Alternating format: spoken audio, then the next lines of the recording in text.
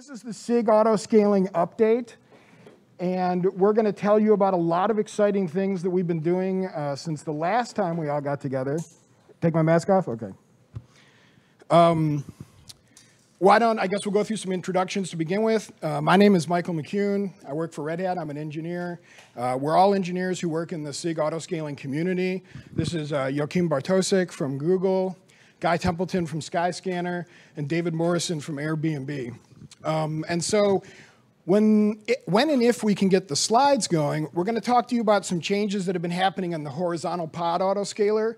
We've got an update about what's going on with the V2 API that's been released and kind of the deprecation notices around V2 Beta 1 and V2 Beta 2. David's going to talk a little bit about the gRPC additions that have come into the cluster autoscaler recently, and in specific about the gRPC expander that's been written. And we also have some more gRPC kind of uh, provider coming as well. I mean, it's already there, but you know. And then uh, Joachim's going to talk about the changes that have been happening in the vertical pod autoscaler. And Guy's going to bring it home and talk a little bit about the community and how you all can get involved and give us bug reports or pull requests or tell us our documentation stinks and we should make it better or we need more testing.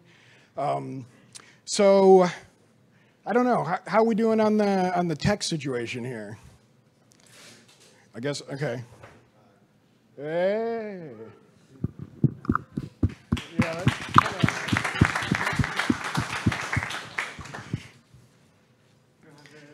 Yeah.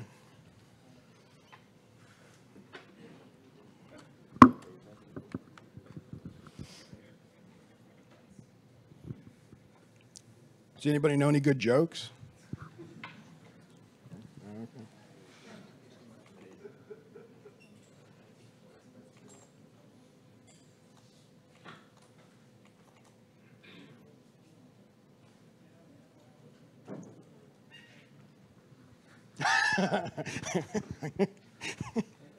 we just can't win for losing here, you know?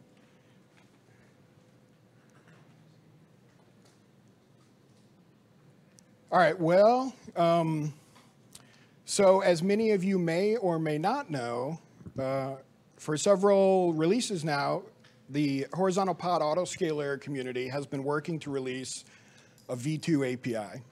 Uh, and this work has been ongoing, I think, since before 1.22. It started off in V2 Beta 1, migrated to a V2 Beta 2 status, and just recently we've merged the PR to make the V2 stable, and we've put out the deprecation notices for the previous versions. And so if you're using V2 Beta 1, and I imagine probably most people are not, or if you're using V2 Beta 2, you should be aware that you know we're coming up on 1.25, which will be the end of life for V2 Beta 1. V2 Beta 2 is also in deprecation right now, but I think it will exist until 1.26, and then it will be deprecated as well.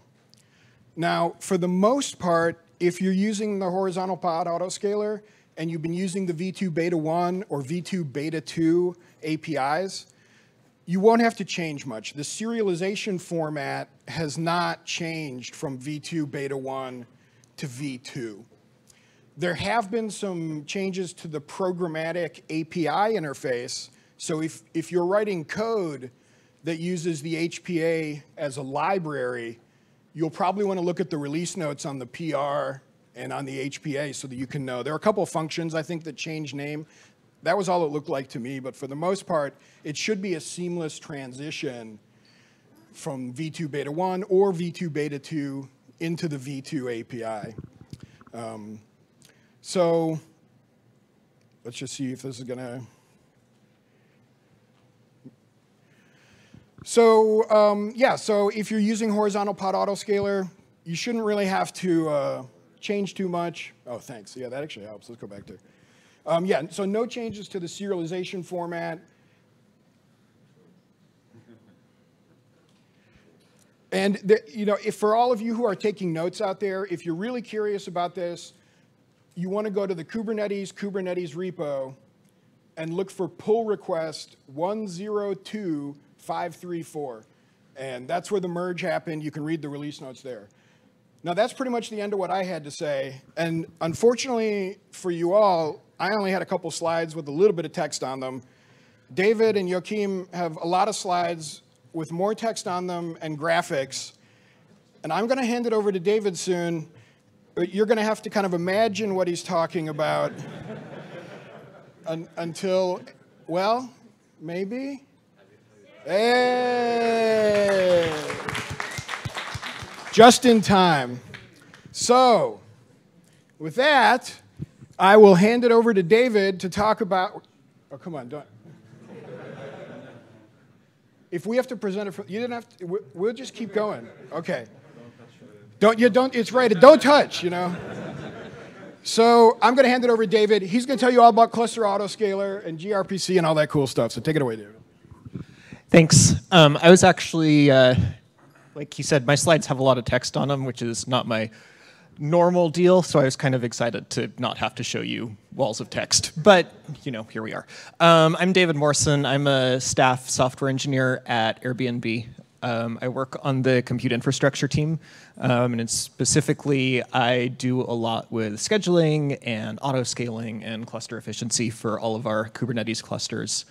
Um, so today I want to talk to you about the custom expander interface that we contributed to Cluster Autoscaler. Um, a bunch of this work was actually done by one of my colleagues, Evan Sheng, who uh, unfortunately wasn't able to be here, but you know, joint effort. Uh, all of us uh, SIG autoscaling folks, it's all good. Um, so yeah, let's uh, let's crack on.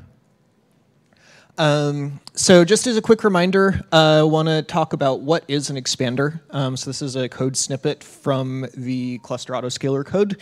Uh, this is the scale up function. So first thing that cluster autoscaler does is it looks for all of the unschedulable pods, um, things that can't be can't fit anywhere on the cluster. Um, and then it looks at all of the different node groups that it has available. So a node group, uh, if you're using AWS, for example, might be an autoscaling group. Um, just as a reminder, a cluster autoscaler, one of the requirements is that all of the nodes in a node group have to be identical from an autoscaling perspective. So they all have to have the same amount of CPU, same resources. Uh, if you're using things like pod topology spread, they all have to be in the same AZ, et cetera. Um, then what happens is it takes all of the node groups that can accommodate the unschedulable pods and it passes it off to the expander. Um, that's this line that's highlighted in blue right here. It calls this best option function. Um, the expander does its thing. It computes one or more node groups that it wants to scale up, and then it hands that back to Cluster Autoscaler to actually do the hard work of adding new nodes. Um, so we're going to be focusing today on the best option function here. So again, just as a reminder, what are the types of expanders that Cluster Autoscaler has available? Um, the default is random, does what it says on the tin, picks a node group at random, scales it up. Most pods and least waste are kind of uh, complementary to each other. Most pods tries to pick a node group that uh, will schedule the most unschedulable pods. Um, least waste kind of does the converse. It picks a node group that will, once you scale it up, will have the sort of least unused resources, CPU, memory, etc. Um, if you're using GKE, you can pick the cheapest node group, which is great if you're on GKE. Um, and then the one that we've been using at Airbnb up till now is the priority expander. Uh, I think this is the one that a lot of people use in practice. Um, you can specify a prioritized list of your node groups, and the expander will pick the node group that is the highest priority that can accommodate your unschedulable pods. Um, so uh, the one we're going to talk about today, the one that's new, is the custom gRPC expander. Um, so let's talk a little bit about why we wanted to write a new one of these things.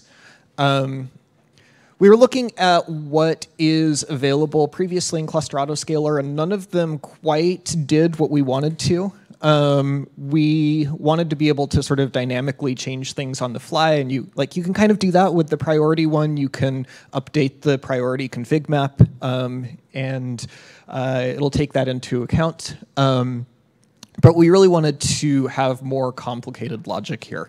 Um, so then we talked a little bit about, well, what if we just built a new expander and contributed upstream? Um, we really don't want to be running a fork of cluster autoscaler. We'd like to stay uh, with what's sort of available to everyone else. Um, but we couldn't really come up with something that was both going to solve our business needs and would also be appropriate to upstream. And so we finally settled on this uh, gRPC expander. Um, so this has a couple of benefits. Uh, the first is that it allows us to encode our business specific scaling logic. So it allows us to do things like take into account our AWS contract, which might change um, as we renegotiate things. We're looking at trying to run more spot instances, um, and spot, you know, uh, depends a lot on the time of day, depends on the price, um, depends on what else is running in our cluster, and so uh, it's kind of hard to figure out how to generalize that. Um, and then the other thing that we were concerned about is uh, cluster autoscaler releases roughly in lockstep with uh, mainline Kubernetes. And we needed some more flexibility. So if you know our traffic patterns change, or if our contract changes, or like anything changes, we wanted to have the ability to up update our uh, scaling logic. And so what we settled on is let's build a interface that allows us to sort of encapsulate all of our business specific logic as a separate service and it'll just talk to cluster autoscaler over uh, gRPC. Um, so that's what we did. Uh, this is the one and only diagram in my section of the talk, so I hope you like it. Uh, on the left, you can see you've got a node in your cluster, cluster autoscaler is running on it somewhere, um, and what we built is inside Cluster Autoscaler, there's a gRPC client um, that uh, conforms to the expander interface. So it's got that best options call. Uh, and what best options does is it translates the uh, expander parameters into a protobuf, uh, passes that over the network to uh, some other service that's sitting somewhere else in your cluster um, that acts as a gRPC server. Um, that service will then take all of the options that Cluster Autoscaler did or uh, provided to it, and it will, you know, do whatever business logic you want, and then it returns the choice back to Cluster Autoscaler, where the uh, gRPC client will then translate it back into Cluster Autoscaler lingo, and uh, it goes on from there. Let's take a look at just briefly what the interface looks like here. Um, so this is the protobuf interface. Um, it's pretty straightforward. So the uh, function, it has one RPC. Uh, it's best options. It takes a best options request, returns a best options response. The request has all of the node group options that are available. And then it takes this map, uh, this node info map, which describes what the nodes look like in each one of those options. Um, and then the response just returns one or more node groups that it would like to scale up. So here's some really simple expander code. Um, the goal here is kind of like, I want to show you what it looks like to write one of these things. It's not actually that hard. Um, so you do your standard boilerplate to set up your gRPC server. Um, you create a new expander interface. You register it. Um, you start listing for requests from Cluster Autoscaler. Um, and then here is an example of what the best options function inside your custom expander might look like. Uh, this is a really dumb uh, best options function. I don't really recommend that you actually use this. Uh, this just picks the node group that has the longest name. So, you know, I guess that might be useful for somebody. Um, but, you know, it's pretty straightforward. Um, takes in the response, or it takes in the request, returns a response, and you're done. The only other sort of tricky thing um, it's not actually that tricky, is configuring cluster autoscaler to talk to your expander service. Um, this is pretty straightforward. Uh, you just have to pass in three command line arguments to your uh, cluster autoscaler invocation. So the first one, dash dash expander, uh, We actually, another feature that landed in CA fairly recently is you can specify multiple expanders. Um, we recommend doing this when you're doing this custom expander. So uh, here we're saying gRPC is your first expander, and then uh, if something goes wrong, if there's a network partition, you know, your expander service crashes for who knows whatever reason, then it'll fall back onto the priority expander. Um, so definitely worth having a fallback there. Um, and then the other two are just telling Cluster Autoscaler how to talk to the expander. So uh, gRPC expander URL says, hey, this is where you need to send your requests. And then the second one, gRPC expander cert, says these are the TLS certificates that you need to use uh, to encrypt that communication. Um, so it's pretty straightforward. Uh, if you've done anything else, like there's the gRPC provider, um, has a similar sort of pattern. Um, if you've done anything with like admission controllers and Kubernetes, it's all the same sort of pattern. Um, so uh, nothing too exciting or complicated here. Um, so I'm just going to finish up with a bunch of links. You can download this from the uh, Sched site. Um, first is a link to our design proposal. Um, the second is a link to the actual pull request that got upstreamed. Um, inside there, there's a README. Um, that's just a sort of text version of what I just said. Um, there's also some example code in there, so if this is something that's interested, that's a good jumping off point. Or, so, sorry, if this is something you're interested in, that example code is a good jumping off point for you.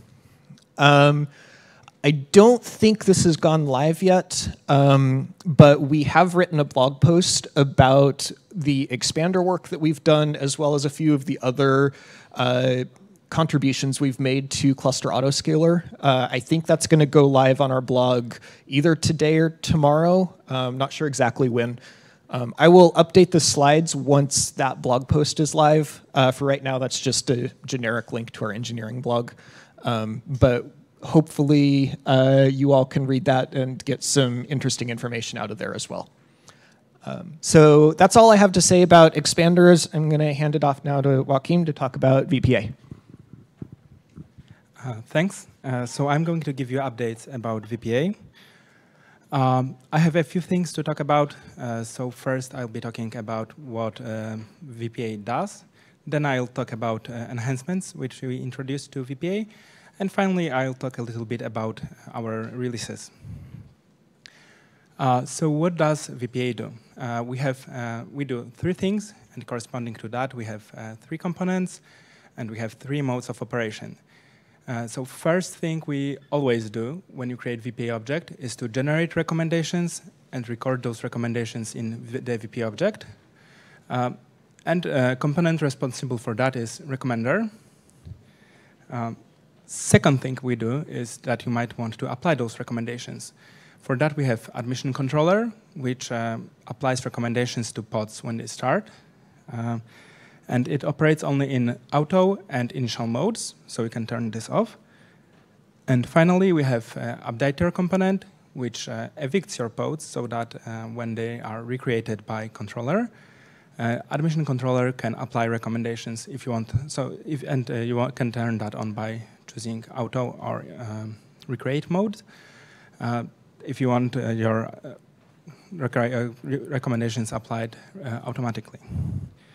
Okay, now onto the first improvement um, we made, um, alternative recommender support. Um, so why did we introduce this enhancement? Uh, because it's very hard to write an algorithm that will generate very good recommendations for all possible wor workloads. For example, some many workloads have uh, weekly usage pattern, and for those work workloads, um, uh, eight, the default eight-day window of uh, data which we're looking at will be enough, but uh, different workloads might have longer patterns, for example, monthly. And uh, for that, uh, eight days, eight day window will be too short. But on the other hand, we don't want to extend the window uh, to be very long because then our re reaction would be slow. So it would, would be good to choose different windows for different workloads. Similarly, um, workloads which answer user queries might want to be able to react very quickly even if there is a load spike. On the other hand, uh, some workloads don't need to uh, react uh, very quickly to spikes and can spread out their work and conserve resources.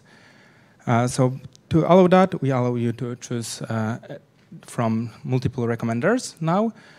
Uh, so you start multiple recommenders, and then you can set choose which one to use in your VPA object like that by simply specifying name of the recommender which you want to use in, for this VPA object. Uh, so like you can see here, multiple recommenders would read the object, but only one would actually write the recommendation. But to use multiple, choose from multiple recommenders, you need to actually run multiple recommenders in your cluster. Um, and to do that, right now you have to implement your own recommender. Uh, I hope that this will change, uh, but for now we have to write uh, some code. And uh, when you do, it's very important to remember that only one recommender should recognize any name. Uh, because if two recommenders try to write to the same VPA object, then the recommendation will change very quickly and uh, it might not work very well. Um, on the other hand, one recommender might, might recognize multiple names. So for example, the default recommender uh, writes recommendation either if there is no recommender name specified, because that was the behavior before, or if you specified uh, that the default recommender should write uh, the recommendation explicitly. Okay, uh, the other enhancement we introduced uh, is um, per VPA object min replicas. Um, so by default, VPA will evict uh, your pods only if there are, there are at least two running pods in your controller. We do that because if there is only one pod running, then it's pretty likely we will disrupt your workload if we evict the only pod. Um, but it's not a good behavior for everyone, uh, because if you have only one running pod in your controller by design, then we will never apply uh, recommendations, and uh, this might not be what you want. Before, there was an option you could set to uh, change uh, this behavior for all VPA objects in your cluster, but again, this might not be what you want because you might be running different workloads. For some workloads, you might uh, want to wait for multiple pods to appear so that uh, at least some will be working. For other workloads, you might want to evict the only pod to apply recommendations. Um, and uh, the other problem was that uh, sometimes you're not controlling your cluster, somebody else is, and then you couldn't set the option. Um, so this is changed to uh, updater component from before. Uh, and again, this is uh, using this is pretty simple. This time you don't even have to write any code. You just uh, specify how many pods you want running in your uh, controller before we start evicting them, and uh, it will work. Um, finally, we used to do releases ad hoc and this resulted in uh, some pretty long uh, uh, time durations between the, our releases.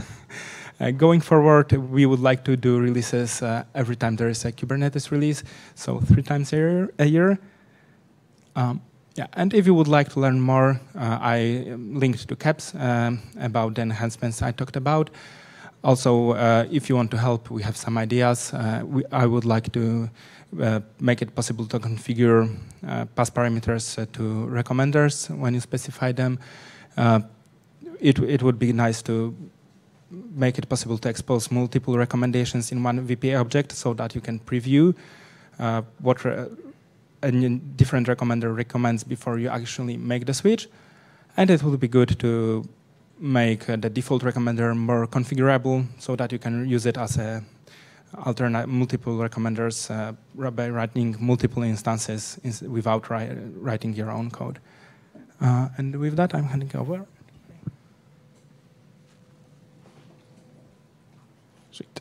Thank you. Um, so you've heard a lot about the the new features, new extensibility that we've shipped over the last uh, year and a bit. Um, however, this is where we need your help. Um, you've heard obviously ideas for future improvements to the VPA, cluster autoscalers, improving its extensibility. You know, people can write their own um, gRPC expanders now.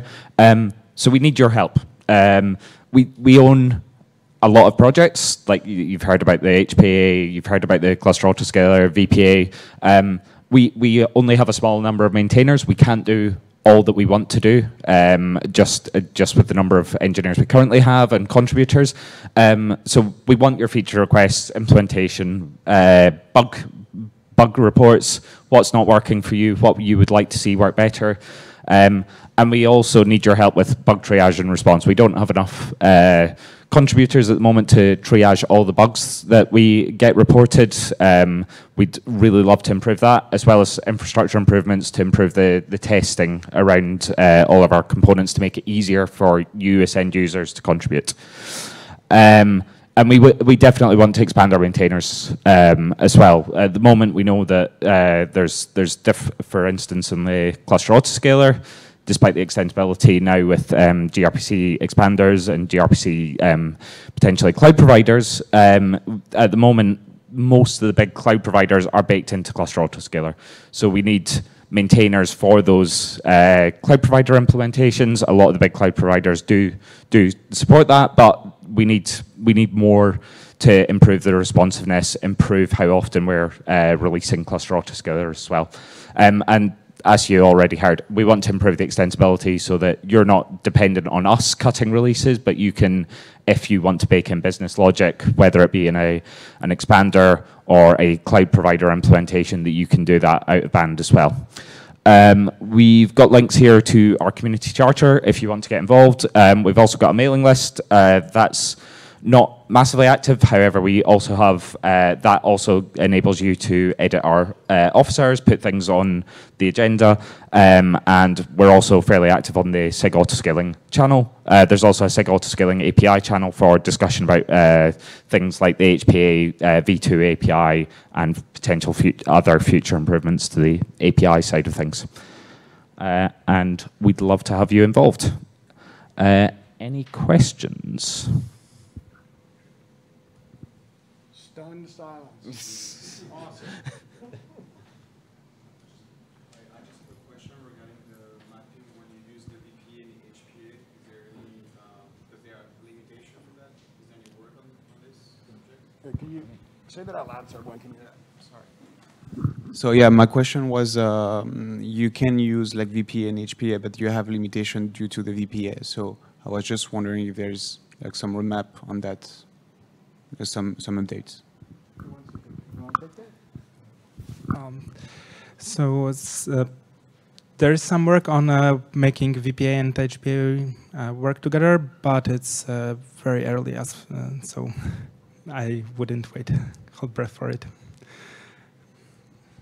Any other, any other questions? Thank you for a great presentation. Um, the cluster autoscaler now has the custom expanders. Is that a pattern you're looking into for the VPA as well?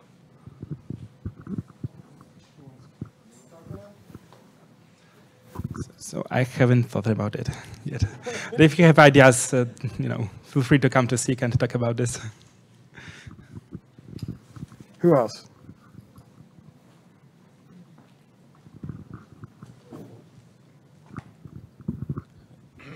The main replica feature in the VPA, uh, the new one, is for disruption purposes, right? And if it is, can't we just use the pod disruption budget for that value Uh, okay, so VPA also uh, respects pod uh, disruption budget, uh, but there are extra um, measures in VPA. So if there is only one pod uh, running in your controller, VPA wouldn't evict this only pod, even if pod disruption budget would allow it. Okay, does this answer your question? So this, at the end, this only for the case with one Say it the mic. Okay, I mean, if I have the pod disruption budget like a three, and uh, so the only way where this add a benefit if it is only one.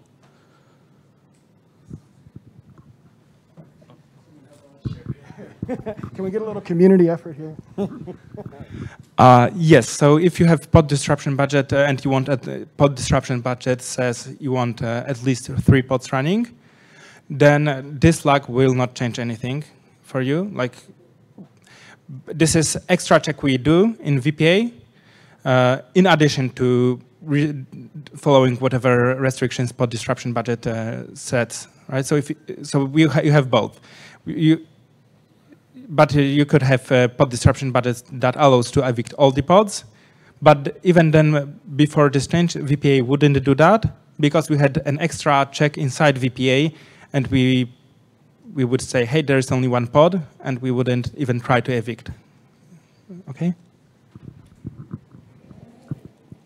So we have a couple online questions as well. Um, and the most voted one right now says, is there a predictive auto scaling algorithm? And in my opinion, predictive auto scaling is, is a very complex topic. And I don't, we do not have anything like that currently, but I don't, does anyone else want to talk to predictive auto scaling?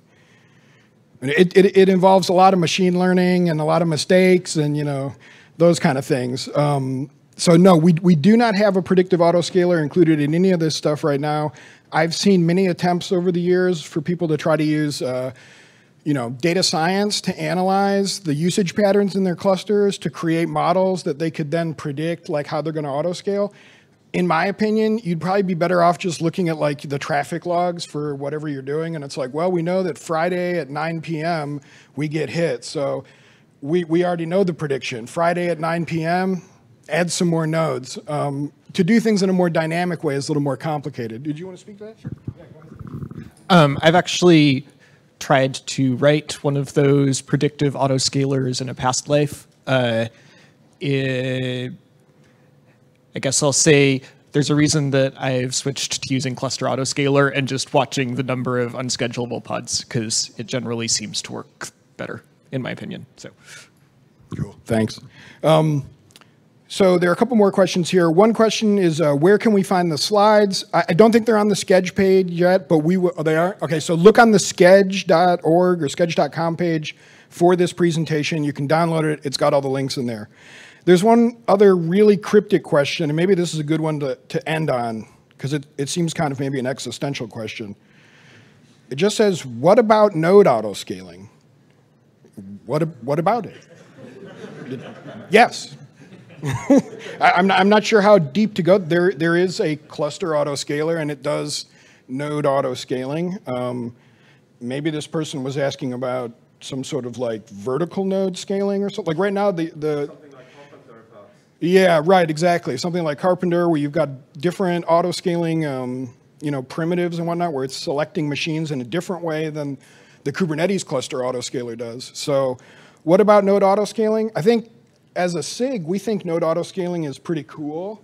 Um, we like it. We'd like to see more of it. Uh, we'd like to see the community coming and telling us what they want to see in it. Um, whoever made this question, if, if you have suggestions, open an issue on the Kubernetes slash autoscaler repo. And um, yeah, maybe that's a good place to end it.